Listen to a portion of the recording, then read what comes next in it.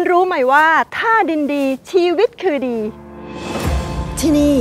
เคยมีแต่ความแตกระแหงเต็มไปด้วยหินซ้อนกันและดินที่แห้งผาก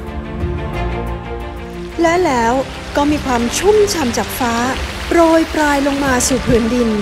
ณศูนย์ศึกษาการพัฒนาเขาหินซ้อน อันเนื่องมาจากพระราชดำริพระบาทสมเด็จพระเจ้าอยู่หัวรัชกาลที่ 9 ทรงพระราชทานพระราชดำริให้พัฒนาดินที่เสื่อมโทรม ให้อุดมสมบูรณ์เพื่อปลูกพืชทำกินได้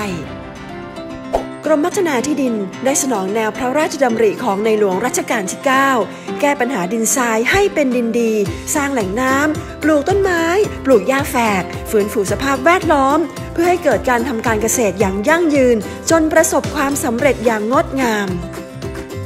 ศูนย์ศึกษาการพัฒนาเขาหินซ้อน อันเนื่องมาจากพระราชดำริ คือพิพิธภัณฑ์ธรรมชาติที่มีชีวิต เป็นต้นแบบแห่งวิถีเกษตรเพื่อการพัฒนาที่ยั่งยืน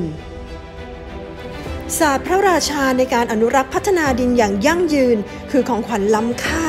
ที่ในหลวงรัชกาลที่ 9 ทรงพระราชทานให้คนไทย เป็นที่ตระหนักไปทั่วโลก จนก่อเกิดเป็นวันดินโลก ทุกวันที่ 5 ธันวาคม วันพ่อแห่งชาติ ซึ่งนานาชาติร่วมรณรงค์ เพื่อตระหนักถึงความสำคัญของทรัพยากรดินที่ส่งผลต่อความอยู่รอดของมวลมนุษยชาติ คุณรู้แล้วนะคะว่า ดินดี เปลี่ยนชีวิตให้ดีได้